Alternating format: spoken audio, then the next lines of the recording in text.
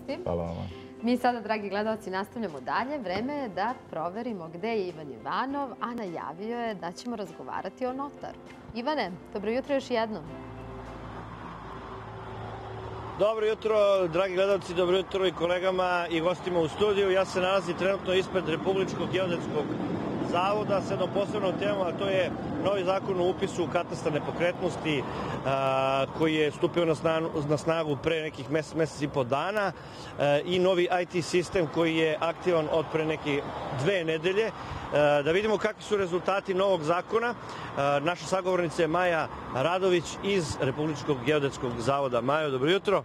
Dobro jutro Ivane.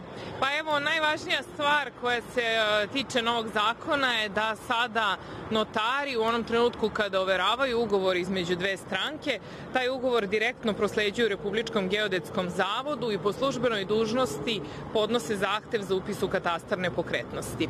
Ova novina je veoma važna zato što su do sada građani uh, često smatrali da je potpisivanjem ugovora ta kupoprodaja završena i svoje kupoprodajne ugovore, da tako kažemo, čuvali u fiokama.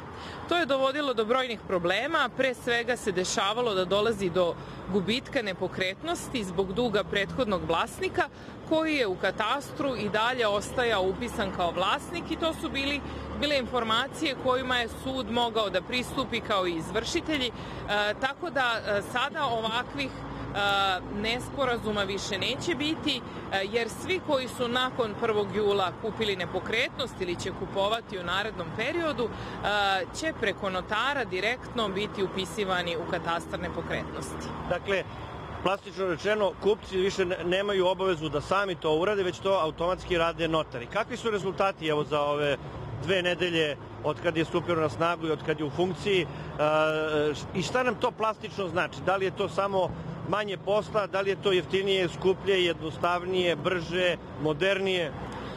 U ovom trenutku nema implikacija na takse. Ono što je novina je da zapravo građani mnogo manje čekaju u redovima, dakle uopšte više ne čekaju na šalterima službi za katastar nepokretnosti, a ukoliko popune poresku prijavu i predaju je notarima, onda neće morati da čekaju ni u poreskim upravama. Dakle, notari će onda te poreske prijave dostavljati Republičkom geodetskom zavodu, a mi ćemo ih dostavljati poreskoj upravi, tako da će e, dva dosta dugačka reda koja su do sada građani morali da čekaju e, ovoga puta preskočiti preskočiti, sve će se obavljati elektronski. Da li je do sad bilo nekih ne, nepravilnosti, nekih nerešenih, nekih problema u vezi sa ovim sistemom? Sistem za sada jako dobro funkcioniše, uspostavljena je dobra komunikacija sa notarima.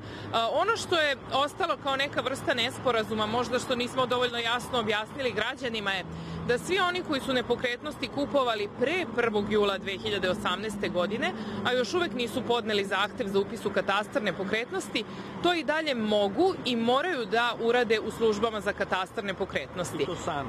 Sami, tako je. E, mislim, naravno mogu angažovati advokata ili nekoga to, da to uradi umesto njih, nekoga koga će ovlastiti, ali, dakle, ne mogu to uraditi kod notara. I ono što je još važno reći je e, da sami mogu da podnesu zahtev za upis u katastar nepokretnosti sve do decembra 2020. godine, dakle, još uvek ima dovoljno vremena. Nakon decembra 2020. taj posao će takođe obavljati notari, s tim da će verovatno taksa biti prilagođena e, nekom njihovom tarifniku i bit će drugačija verovatno u odnosu na ovu koja je trenutno aktuelna, a to je 5000 dinara za prenos e, vlasništva sa jednog na drugog vlasnika. E, za sam kraj, da li je ovo dodatno opterećenje recimo za katastar ili za notare? Notari su bili u jednom momentu u pitanje da li će to biti možda obaveza više za njih. Da li oni mogu da podnesu je li to opterećenje sa, sa većim brojem obaveza? Što se tiče katastra, ovo je sasvim sigurno jedno olakšanje jer možemo računati na veću pouzdanost dokumentacije koja nam dolazi. Što se tiče notara, ja bih istakla da su oni i do sada kupoprodajne ugovore dostavljali Republičkom geodetskom zavodu za potrebe masovne procene vrednosti nepokretnosti, odnosno za registar cena nepokretnosti. Koliko je ovo veliko opterećenje za njih i da li otežava njihov rad, možda bi trebalo i sa njima o tome porazgovarati, ali mislim da u nekom dugoročnom periodu, čim se oni malo uhodaju, da će to sasvim biti za obe strane jednostavno, a naročito korisno za građane, pogotovo što, dakle, radi se samo o tome da se koristi nova tehnologija kao što su brzi skeneri i dakle slanje onda kroz taj sistem ove dokumentacije, tako da je to nekoliko kratkih koraka koji se obavljaju u elektronskoj formi. Mislim da i notarima to nije veliko opterećenje. Pa evo, hvala puno na uključenju. Eto, čuli smo šta kažu iz Republičkog geodetskog zavoda, šta kažu notari, vidjet ćemo u nekom od narednih uključenja, narednih dana. Vraćamo se u studiju.